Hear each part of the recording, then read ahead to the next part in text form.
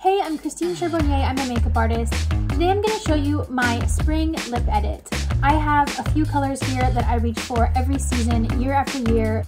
For my first lip, I'm going to use a classic that I think can work for so many people, the Dolce Vita by NARS. And I just think that this color is like such a perfect in-between of like a pink and an orange and it's so easy to apply, is one of my tried and true NARS matte lip velvet pencils that I highly recommend. So this is number two. This is our 53 Chicness by Chanel. This is my recommendation for just a beautiful nude lip. So this is super easy to pop on. You don't even have to look in a mirror.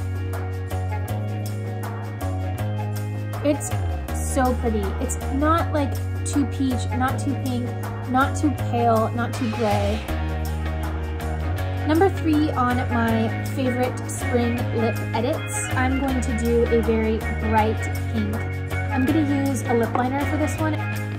This looks beautiful as is, but now I'm going to apply the Chanel Immobile number 70. These are so easy to use. This one is gonna give me the most beautiful bright pink color it doesn't feel like a gloss, it dries down, and you just have a beautiful color after.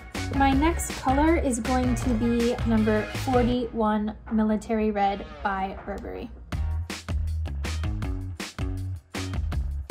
This one's more of a gloss. It has more of a sheen to it.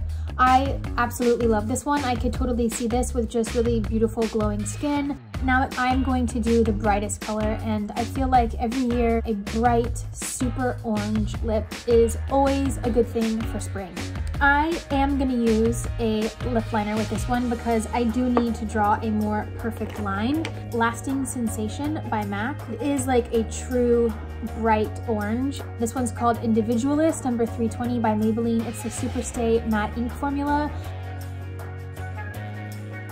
Now it is is one of the trends I saw for spring that I'm actually super here for. It's a Vincent Longo color. It's called Calypso Pearl. It's a perfect example of what I'm talking about with these shimmery nude mauves. I am gonna use that same Shiseido lip liner just to draw on my lip line. And here comes my shimmery nude. So pretty.